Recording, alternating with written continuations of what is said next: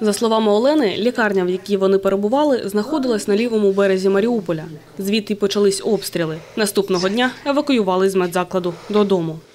Вот уже в марте, где-то, наверное, числа 5-6, проснулась от того, что под окном прям такой гугух. Вот тогда уже, конечно, стало страшно, потом вроде все, вроде как опять стало далеко.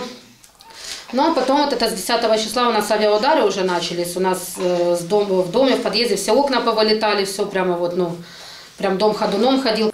За словами переселенки, з кожним днем у Маріуполі ставало все страшніше.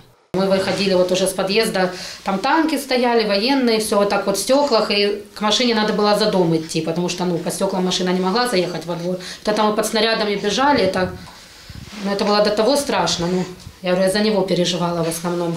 Одразу виїхати з міста не вийшло. Російські військові не випускали, розповідає Олена. 16 березня снаряд влучив у їхній будинок. Дивом залишились живі.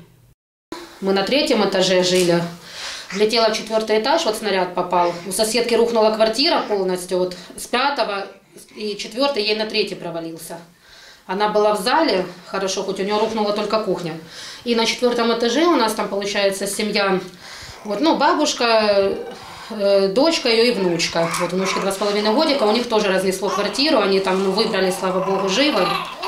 Вот, и тогда я уже ну, я же я, с ним выходить, оно все черное, вот это в дыму, я боюсь, что он сейчас задохнется или пол подо мной сейчас рухнет. Вот, я уже мужа начала просить, говорю, ну выйди там куда-нибудь, может кто-то куда-то выезжает, говорю, ну надо спасать, говорю, ребенка.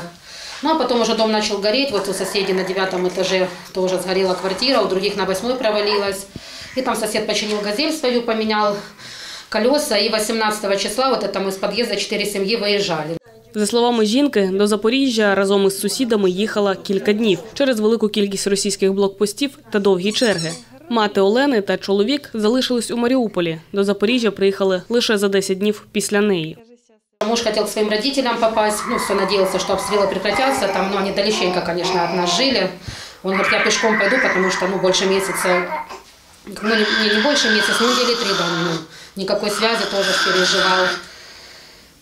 Ну, и мама с ним осталась, и мы вот это с лялькой уехали, и с подружкой еще уехали сюда. Где-то ж надо размещаться. Уже просто начали, вот, ну, с малым гуляла. Тут, конечно, помогли, и колясочку ему дали, и все, да, и одежку, потому что, ну, приехали ж без ничего. Вот, просто уже там, ну, начала ходить по дворам, там, ну, говорю, извините, никто там квартиру не сдает, так что, ну, не сильно дорого, так и так. Ну, помогли люди, вот, нашли квартиру. Вот, и как раз мама с мужем приехали, сейчас вот снимаем, живем. Зараз Олена та п'ятимісячний Артем лікують бронхіт в одній з лікарень Запоріжжя. Чоловік жінки влаштувався працювати на промислове підприємство міста. Їхати далі поки не планують. Сподіваються, після перемоги України повернутись до Маріуполя. Новини на Суспільному. Запоріжжя.